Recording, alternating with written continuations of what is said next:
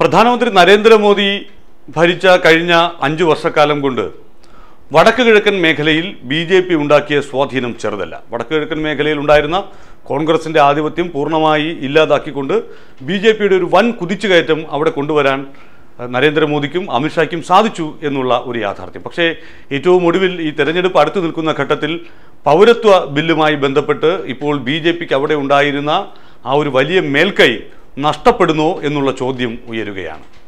നരേന്ദ്രമോദി വമ്പൻ പദ്ധതികളുമായി വടക്കു കിഴക്കൻ മേഖലയിൽ തന്റെ പ്രചരണ റാലികൾക്ക് സമാനമായിട്ടുള്ള പരിപാടികൾ സംഘടിപ്പിക്കുന്നുണ്ട്. അവിടെ ഉദ്ഘാടന മഹാമഹങ്ങൾ നടത്തുകയാണ്. കഴിഞ്ഞ ദിവസം അരുണാചൽ പ്രദേശിൽ തന്നെ നാലായിരം കോടി രൂപയുടെ പദ്ധതികളാണ് അദ്ദേഹം ഉദ്ഘാടനം ചെയ്തത്. അങ്ങനെ ഒരുപാട് പദ്ധതികളുമായി വടക്ക് കിഴക്കൻ മേഖലയിൽ നരേന്ദ്രമോദി തെരഞ്ഞെടുപ്പ് യോഗങ്ങൾക്ക് സമാനമായ ഉദ്ഘാടന ചടങ്ങുകളിൽ പങ്കെടുത്തുകൊണ്ടിരിക്കുമ്പോഴും അവിടെ പൗരത്വ പ്രശ്നം ഒരു വലിയ വിഷയമായി തന്നെ നീറിപ്പുകയുകയാണ്.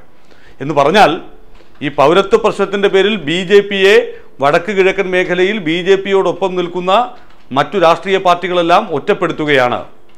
അസമിൽ നിന്ന് പ്രഫുല്ലകുമാർ മൊഹന്തയുടെ എ ജി പി നേരത്തെ തന്നെ വിട്ടുപോയി. അസം ഗണപരിഷത്ത് നേരത്തെ തന്നെ ഈ ഒരു വിഷയത്തിൽ അവർ വിട്ടുപോയി. അസമിൽ പ്രതിഷേധം ആളിപ്പടരുകയാണ്. പ്രധാനമന്ത്രി നരേന്ദ്രമോദി എത്തിയ ദിവസം അവിടെ ഈ നഗ്ന റാലി നടത്തി പ്രതിഷേധിച്ചു ചിലർ. ബന്ദ് ഒപ്പം മോദിയുടെ കോലം കത്തിക്കൽ കരിങ്കൊടി കാട്ടൽ അങ്ങനെ വിവിധ തരത്തിലുള്ള പ്രതിഷേധ പരിപാടികളുമായിട്ടാണ് നരേന്ദ്രമോദിയെ അവിടെ വരവേറ്റത്.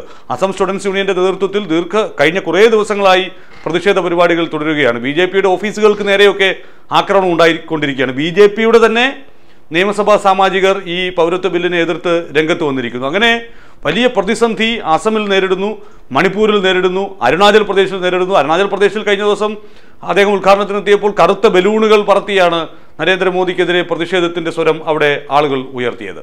ഇപ്പോൾ പൗരത്വ ബില്ലുമായി ബന്ധപ്പെട്ട് മറ്റൊരു വലിയ പ്രതിസന്ധി ഇപ്പോൾ ബി ജെ പി നേരിടുന്നത് മേഘാലയയിൽ ഭരണം നടത്തുന്ന എൻ പി പി ഖുറാൻ സംഗ്മയുടെ നേതൃത്വത്തിലുള്ള N P P national peoples party.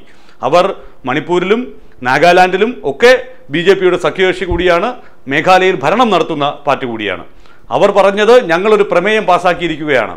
ഈ അസം പൗരത്വ ഈ പൗരത്വ ബില്ലിൽ നിന്ന് കേന്ദ്ര സർക്കാർ പിന്നോട്ട് പോയില്ലെങ്കിൽ ഞങ്ങൾ എൻ ഡി എ വിടും എന്ന് പ്രമേയം പാസാക്കിയിരിക്കുകയാണ് എന്നുള്ളതാണ് ബി ജെ പി നേതൃത്വത്തിന്റെ അവസാന നിലപാട് അറിയാൻ വേണ്ടി മാത്രം കാത്തിരിക്കുകയാണ് എന്നുള്ളത്. അതായത് വടക്ക് കിഴക്കൻ മേഖലയിൽ ഈ കഴിഞ്ഞ നാലര വർഷക്കാലം കൊണ്ട് ബി ജെ പി ഉണ്ടാക്കിയ സ്വാധീനം ഈ പൗരത്വ പ്രശ്നത്തിന്റെ പേരിൽ അതിന്റെ മേൽ നടത്തുന്ന പിടിവാശിയുടെ പേരിൽ ബി ജെ പിക്ക് ഇല്ലാതായിക്കൊണ്ടിരിക്കുന്നു. വടക്ക് കിഴക്കൻ സംസ്ഥാനങ്ങളിൽ എല്ലാം കൂടി ഇരുപത്തിയേഴ് ലോക്സഭാ സീറ്റുകളുണ്ട്. ഈ ഇരുപത്തിയേഴ് ലോക്സഭാ സീറ്റുകളെ സംബന്ധിച്ചിടത്തോളം അടുത്ത തെരഞ്ഞെടുപ്പിൽ അത് സ്വീപ്പ് ചെയ്യാം. ബി ജെ പിക്കും ഘടകകക്ഷികൾക്കും കൂടി എന്നുള്ള കണക്ക് കൂട്ടലിൽ ഇരിക്കുന്ന ഘട്ടത്തിലാണ് ഈ വിഷയം ബി ജെ പിക്ക് വലിയ തിരിച്ചടിയാകുന്നത്. ഇപ്പോൾ അത് മുതലെടുക്കാൻ പരമാവധി മുതലെടുക്കാൻ അവിടെ തിരിച്ചടിയേറ്റ് നിൽക്കുന്ന കോൺഗ്രസ്സിന് ഒരു വലിയ പുനരുജ്ജീവനി കിട്ടിയതുപോലെയാണ് ഇപ്പോഴത്തെ സാഹചര്യങ്ങൾ വരുന്നത്. അതുകൊണ്ട് തന്നെ അവിടെയും ബി ജെ പിക്ക് അനുകൂലമല്ലാത്ത നിലയിലേക്ക് കാര്യങ്ങൾ മാറിക്കൊണ്ടിരിക്കുന്നു എന്നാണ് ഈ മോദിയുടെ സന്ദർശന പരിപാടികൾ കഴിയുമ്പോഴും വ്യക്തമാകുന്ന ഒരു കാര്യം. സാധാരണ മോദിക്കെതിരെ അത്തരത്തിൽ വ്യാപകമായ പ്രതിഷേധങ്ങൾ ഈ ബി ജെ പി സ്വാധീന മേഖലയിലൊന്നും ഉണ്ടാകാത്തതാണ്. പക്ഷേ എൻ ഡി എ ഘടകകക്ഷികളിൽ നിന്ന് തന്നെ കടുത്ത പ്രതിഷേധം അദ്ദേഹത്തിനെതിരെ ഉണ്ടാകുന്നു. അവരെ പിന്തുണച്ചവർ തന്നെ ഇപ്പോൾ പ്രതിഷേധിക്കുന്നു. പരസ്യമായി പ്രതിഷേധത്തിന് ഇറങ്ങുന്നു. മോദിക്കെതിരെ കരിങ്കൊടി പ്രകടനം നടത്താൻ പോലും തയ്യാറാകുന്നു എന്ന നിലയിലേക്ക് അവിടെയും കാര്യങ്ങൾ എത്തിയിരിക്കുന്നു.